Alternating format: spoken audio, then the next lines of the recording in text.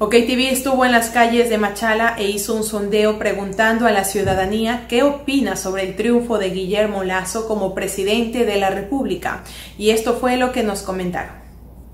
Es una expresión de la democracia del país, de la ciudadanía, hay que respetarla y, debe de proceder a seguir trabajándose por el país. Eh, se debe apoyar la iniciativa del gobierno en el sentido de que mejoren las condiciones económicas de la ciudadanía que sea realmente una, una administración fundamentalmente honesta, transparente, con compromiso de servicio, que es lo importante para poder realmente con amor sacar al país adelante. El triunfo de Guillermo Lazo le ha representado al país una tranquilidad. El día el de ayer la gente, el pueblo amaneció tranquilo, esperando, eh, eso sí que se cumplan las promesas del nuevo presidente primero sería decir, primero, darle las gracias a Dios por esta entrevista y en segundo lugar que quizás no, quizás a lo mejor esté equivocado, pero yo me creo que quizás con lo que ha, prometido al país hay que darle tiempo al tiempo, puede hacer que lo, que lo, que lo, lo haga algo por los ecuatorianos. Y más que todo en poco conocimiento que tengo yo, no sé si ha sido considerado los discapacitados y adultos mayores a nivel nacional ya que yo sí, yo sí quisiera pedirle de favor en especial que yo tuviera un poco de espacio, me diera un espacio en Carondelet para yo presentar y pedir de que sea revisada la ley con discapacidades para adultos mayores y discapacitados de diferentes clases de discapacidad.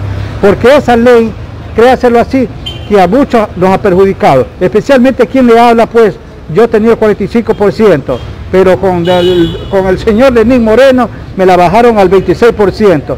Yo desde mi perspectiva como, decía, bueno, yo apoyar a Arauz, ¿no? Eh, pero desde el punto de vista económico, eh, depende de las decisiones que se tomen con, respecto al Fondo Monetario Internacional, porque hay, hay que cumplir ciertas obligaciones que Moreno, en este caso el gobierno Moreno, se ha comprometido, ¿no? y por lo tanto veamos desde qué punto de vista se pueden aplicar eh, a favor de, la situación económica que atravesamos. Me parece que el triunfo de Guillermo Lazo va a traer este, privatizaciones de, de, la salud, privatizaciones de los sectores, ¿no? Esa va a ser la propuesta de Guillermo Lazo. Va a privatizar muchas instituciones públicas.